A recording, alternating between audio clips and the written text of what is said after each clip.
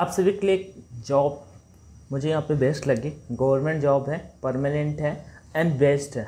दिखाते हैं आपको। और सबसे बड़ी चीज़ क्या है भाई साहब? सिलेबस मुझे आप जो पढ़ के आए हो ना, या जो पढ़ते रहे हो, वही लगा। तो फिर मैंने कहा, चलो आपको रिकमेंड कर देते हैं। तो फिर चलते हैं यहाँ पे। तो सबसे पहले नंबर जो रिक्रूटमेंट आई है वो कौन सी है? वो आपका बीएसएफ में है।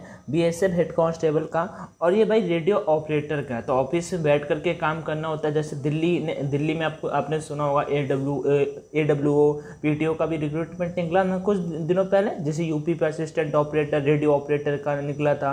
वैसे ही ये बी एस एफ़ पे है, ठीक है? सेंट्रल लेवल पे है और बेहतरीन है। मतलब यहाँ पे जो मैंने नोटिफिकेशन पढ़ा, मैंने जॉब तो नहीं की, लेकिन ये मुझे ज़रूर लगा पढ़ करके।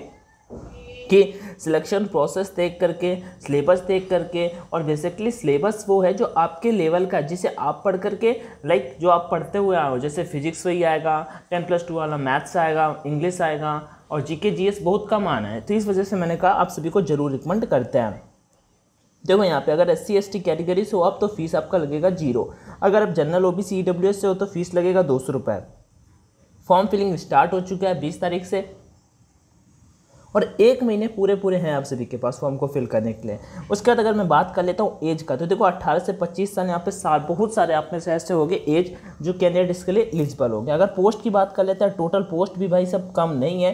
तेरह सौ बारह पोस्ट हैं ऑल ओवर इंडिया काफ़ी होती हैं। ठीक है B S head constable R O R M recruitment two thousand मतलब thirteen hundred twelve post okay head constable, radio operator RO के लिए जो पोस्ट है, नौ सौ बयासी पोस्ट है। इसमें अगर आपका क्वालिफिकेशन की बात कर लेते हैं तो क्या क्या चाहिए, वो देखते हैं। देखो, आपका टेन प्लस टू चलो मैं आपको डॉक्यूमेंट डाउनलोड कर देता हूँ, फिर उसके बाद यहाँ पे बात करेंगे, ठीक है? क्या क्या आपकी एलिजिबिलिटी होनी चाहिए नोटिफिकेशन डाउनलोड कर लेते हैं और आप सभी बोलिएगा तो मैं नोटिफिकेशन आप सभी का टेलीग्राम पे शेयर कर दूँगा। बाकी आप सभी की कोई क्वेरी कोई डाउट या जो चीज़ें आपको समझ में ना आ रही हों, आप मुझे कॉमेंट सेक्शन में बता सकते हो तो मैं ज़रूर बता दूँगा। बाकी मैं इसका नोटिफिकेशन आपको टेलीग्राम पे शेयर कर दूँगा। अगर एक बात और बताता हूँ तब तक आप सभी के लिए, चलो मैं पहले से डाउनलोड हो जाने देता हूँ, फिर आगे बढ़ते हैं और बातें करते हैं। Government of India direct recruitment for the post of head constable radio operator and head constable radio mechanic के लिए पोस्ट है। ऑनलाइन एप्लीकेशन की बात मैंने आपको डेट बता दी है ठीक है सैलरी देख सकते हो लेवल फोर का जॉब है और सैलरी देख सकते हो। एक नंबर मतलब twenty five thousand five hundred से स्टार्टिंग होगा एंड एटी वन थाउज़ेंड मतलब ये लेवल फोर से स्टार्ट होगा eighty one thousand hundred rupees आपका लेवल सेवन तक आप जाओगे तो वहाँ पे आपको इतना सैलरी मिलने वाला है। वैकेंसीज आपके कम ज़्यादा हो सकते हैं, देखो कम तो नहीं होंगी, ज़्यादा ज़रूर हो सकती हैं। उसके बाद यहाँ पे कैटेगरी के वाइज भी आप वैकेंसी देख सकते हो कि कहाँ पर कितनी वैकेंसी कैटेगरी वाइज रखी जाएँगी। उसके बाद और भी चीज़ें जो इंपॉर्टेंट है, वो यहाँ पर डिस्कस कर लेते हैं। आप सबसे पहले आपका जो रिटर्न एग्ज़ाम की डेट है, वो मैं आपको बता देता हूँ। देखो बीस नवंबर को आपका संडे को पेपर होगा ऑफलाइन पेपर होगा, नौ बजे से ग्यारह बजे तक। और बीस नवंबर संडे संडे को आई थिंक सेकेंड शिफ्ट जो होगी, दो से चार। फ़र्स्ट फ़ेज़ के बारे में यहाँ पे बात की गई है, ठीक है? अच्छा ये आरओ के पेपर के बारे में है। ये आर के पेपर के बारे में। उसके बाद डुप्लीकेट, ओके, आपको सही सी चीज़ें सेकेंड फ़ेज़ जो होगा आपका, उसमें आपका P T P E T and documentation होगा, जो सोलह जनवरी दो हज़ार तेईस को होने वाला है। इसमें क्या होगा? पी ई टी और मतलब इसी में एक सेकेंड टास्क होगा, जो आपका dictation test and paragraph reading test ये उतना डिफ़िकल्ट होता नहीं है, मैं आप सभी को बता दूँगा। थर्ड फेस्ट आपका मेडिकल एग्जामिनेशन होगा। फाइनल रिज़ल्ट उसके बाद आपका मेरिट उसमें आ जाएगा। मेरिट आपका फाइनल रिज़ल्ट के basis final result will be prepare for S C R O S C R M separately देखो मैं बता दूँ Indian Navy M R Indian Navy double A S S R S S R से बेहतरीन है भाई, बढ़िया उनसे कम इनमें मतलब पहला नंबर तो परमानेंट कोई दिक्कत थी नहीं। ठीक, दूसरा नंबर आपका सिलेबस सेम टू सेम जो आप पढ़ते हुए आ रहे थे स्पेशली एक्स ग्रुप वाले navy double S S R वाले, उनके लिए। Total marks of ten in the O M R test two hundred and dictation test fifty out of total two hundred fifty marks मतलब two hundred fifty marks का total मतलब दो सौ mark आपका paper होगा। पर क्वेश्चन है वो टू नंबर एंड उसके बाद आपका पचास नंबर आपको डिक्टेशन टेस्ट के मिलेंगे, वो मैं आपको बता दूँगा कैसा टेस्ट होगा। उसके बाद आपका जो पेपर होगा, वो यहाँ पे एस सी आर एम के वाले के लिए तो केवल दो सौ मार्क का ही पेपर होने वाला है। एलिजिबिलिटी कंडीशन के बारे में पहले हम चीज़ों को डिस्कस करते हैं। ठीक है? तो एकेडमिक क्वालिफिकेशन सिंपल सी बात मैं बता देता हूँ यहाँ पे। अगर दो इसके पास कंडीशन है यहाँ पे, देखो यहाँ पे। अगर आर और मतलब कि आप अगर फॉर्म फिल करना चाहते हो रेडियो कांस्टेबल वाले का तो सिंपल से आपको टेन प्लस टू पास होना चाहिए ट्वेल्थ पास आउट हो। फिजिक्स केमिस्ट्री एंड मैथ्स में आपके सिक्सटी परसेंट मार्क्स हो, आप इस फॉर्म को फिल कर सकते हो। उसके बाद दूसरा नंबर यहाँ पे जो ज़रूरी है, आप टेंथ पास हो टेंथ पास हो साथ में आपके पास आईटीआई का सर्टिफिकेट हो तो भी आप यहाँ पे फॉर्म को फिल कर सकते हो। यहाँ पे दे रखा है कौन कौन से किस कैटेगरी के वो आपके पास सर्टिफिकेट होने चाहिए। एस के लिए मैकेनिक ये मैकेनिक करके कुछ था ठीक है? तो उसके बारे में यहाँ पे आपको बोल रखा गया है कि आ, एक तो वही आ जाता है सेम टू सेम आईटीआई वाला। दूसरा यहाँ पे क्या रखा है कि first in intermediate ten plus two आप पास हो किसमें? विथ फिजिक्स फिजिक्स के साथ में chemistry and mathematics from a recognise board और यूनिवर्सिटी और institute as a regular student with aggregate 60 percent marks in PCM subject मतलब कि 60 परसेंट मार्क्स आपके इसमें भी होने चाहिए। एज लिमिट की बात कर लेते हैं। अठारह से पच्चीस साल यहाँ पे एज की बात की गई है और अट्ठारह से कम नहीं होना चाहिए। ठीक है?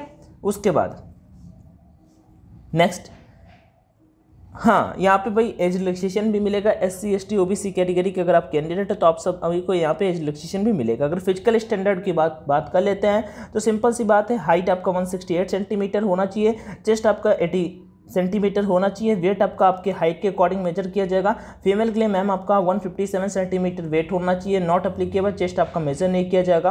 एंड वेट यहाँ पे आपका हाइट के अकॉर्डिंग मेजर किया जाएगा। ओके आगे बढ़ते हैं यहाँ पे अदर अदर कैटेगरी लाइक जो बिलोंग करते हैं अलग अलग एरियाज़ से, उनके अकॉर्डिंग यहाँ पे उनको छूट भी मिलेगी। देख सकते हो गैरवाल कुमायूं गोरखास डोगरास उनके लिए हाइट में यहाँ पे छूट रखी गई। वन सेंटीमीटर ही यहाँ पे उनको देना होगा। ई डब्ल्यू एस रिजर्वेशन के लिए भी यहाँ पे वो छूट मिलेगी उनको, यहाँ पे उनका दे रखा है कि इससे ज़्यादा उनका एरिया वगैरह नहीं होना चाहिए तो डेफिनेटली वो फ़ायदा ही फ़ायदा है। आप सभी के लिए notification Telegram channel online education पे मिल जाएगा। वन मोर इंपॉर्टेंट थिंग बता देता हूँ, आप सभी को air force navy coast guard and किसी भी गवर्नमेंट एग्ज़ाम के लिए ऑनलाइन मॉक लगाने हैं। किसी भी दिल्ली पुलिस की तैयारी करो या इसके लिए तैयारी करो तो इसके लिए भी यहाँ पे ऑनलाइन मॉक टेस्ट अवेलेबल करा दिए जाएँगे। तो आप यहाँ पे जाके आप ऑनलाइन मॉक टेस्ट लगा सकते हो प्रैक्टिस कर सकते हो। बेहतरीन आप सभी के लिए मॉक टेस्ट अवेलेबल है। फिर भी अगर आपकी कोई क्वेरी या कोई डाउट आ रहा हो तो कॉमेंट सेक्शन में आप शेयर कर सकते हो, बता देंगे। बाई करते समय कोड का ऑप्शन आएगा तो ऑनलाइन डी फिफ्टी का यूज़ कर लीजिएगा, इससे फिफ्टी परसेंट डिस्काउंट मिल जाएगा। और आपका टेस्ट का price I think one forty nine one seventy rupees है, जिसमें आप ऑनलाइन मॉक टेस्ट लगा के ज़्यादा से ज़्यादा टेस्ट लगा सकते हो और प्रैक्टिस कर सकते हो। बाकी कोई क्वेरी हो तो ज़रूर कॉमेंट सेक्शन में आज करिएगा तो वो डाउट्स वो चीज़ें क्लियर की जाएँगी। ठीक है? आगे बढ़ते हैं। ठीक है? आगे बढ़ते हैं यहाँ पे। वो तो दे रखा था। आपका एलिजिबिलिटी फॉर एक्स सर्विस में हटाओ भी नहीं उनके बारे में बात नहीं करेंगे।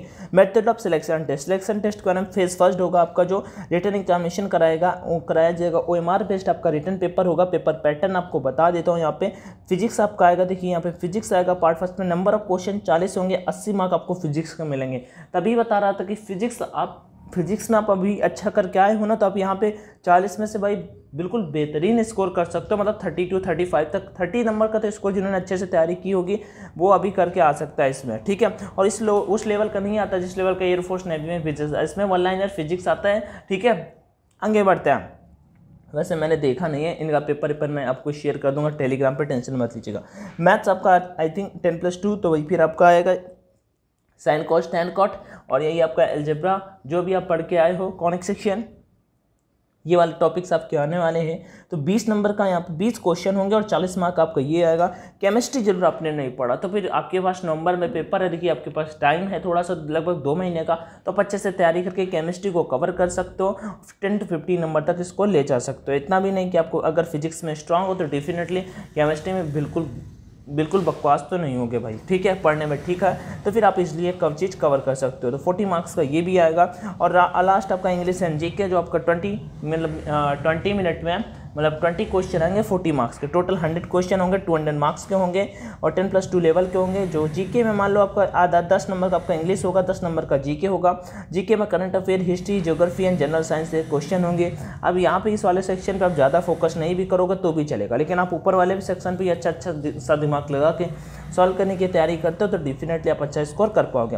पेपर में निगेटिव मार्किंग है, आपका पॉइंट टू फाइव का निगेटिव मार्किंग काटा जाएगा। हर चार गलत क्वेश्चन पे सही क्वेश्चन काट लिया जाएगा। अगर पास होने की बात कर लेते हैं तो लगभग थर्टी एट परसेंट जो कैंडिडेट ले आते हैं। General O B C W S वो कैटेगरी पास माने जाएँगे। S C S category thirty three percent अगर ले आते हैं तो पास माने जाएँगे। ठीक है? और यहाँ पे लिखा है कि appear in next phase shall भी रिस्ट्रिक्टेड ट्वेंटी अच्छा ठीक है। तो देखो यहाँ पे अगर जो पे, पेपर देगा तो उसका लगभग बीस मतलब कि यहाँ पे बात की गई है बीस गुना कैंडिडेट को शॉर्ट लिस्ट किया जाएगा जितनी भर्ती है। तो मैं कहता हूँ लगभग पंद्रह सौ पोस्ट है पंद्रह सौ पोस्ट है तो इसका बीस गुना कैंडिडेट को शॉर्ट लिस्ट किया जाएगा तो कितना हो जाए पंद्रह दुनी तीस ठीक? पंद्रह सौ इंटू मतलब लगभग तीस हज़ार कैंडिडेट तीस से पैंतीस हज़ार कैंडिडेट को यहाँ पे लोग शॉर्ट लिस्ट करने वाले हैं। सेकंड फ़ेज़ आपका पीएफटी होगा। पीएफटी में क्या क्या चीज़ें कंडक्ट कराई जाएँगी? देखो यहाँ पे सबसे पहले तो आपका हाइट वगैरह ले हाइट होगा आपका। ये मैं आप सभी को ऑलरेडी बता के आ चुका हूँ। और फिर आपका फ़िज़िकल होगा जो 1.6 किलोमीटर का रन रन होगा। साढ़े छः मिनट में रन करना होगा। ये भी चीज़ अभी आप करके आए हो लॉन्ग जंप आपको करना होगा। ग्यारह फुट का थ्री चांस मिलेंगे आपको। उसके बाद मैं मतलब फीमेल कोई देख रही हूँ तो मैम आप इधर देख सकते हो, आपको यहाँ पे 800 मीटर का रेस है, चार मिनट टाइमिंग है। उसके बाद यहाँ पे हाई जंप आपको साढ़े तीन फिट करना होगा, तीन चांस इसके लिए भी मिलने वाले अगर आप क्लियर कर लेते हो तो फिर कोई दिक्कत ही नहीं है। क्या क्या डॉक्यूमेंट चाहिए क्या क्या चीज़ें हैं, वो मैं आप सभी को बता दूँगा। डिक्टेशन डिक्टेशन टेस्ट के बारे में यहाँ पे लिखा हुआ dictation test in English writing of minimum hundred words का होगा। और ये केवल पैराग्राफ रीडिंग टेस्ट प्रोफिशियंसी ठीक है। ये वाला इसमें आपको 50 मार्क्स होगा, उसके देखिए और पैराग्राफ टी में पढ़ाया जाएगा, ये आपको केवल क्वालिफाई करना होगा, ये आप इजली कर लोगे। तो ये बढ़िया है मेरे पॉइंट ऑफ़ व्यू से आप सभी के लिए रिक्रूटमेंट आपका जो क्वेरी या कोई डाउट आ रहा तो आज कर लीजिएगा कॉमेंट सेक्शन में अपन रिप्लाई कर देंगे। बाकी वीडियो को दोस्तों के साथ में शेयर करिएगा पसंद आया तो लाइक कर सकते हो। चैनल पर फ़र्स्ट टाइम विज़िट किया तो सब्सक्राइब कर सकते हो। टेक केयर जय Hind and all the best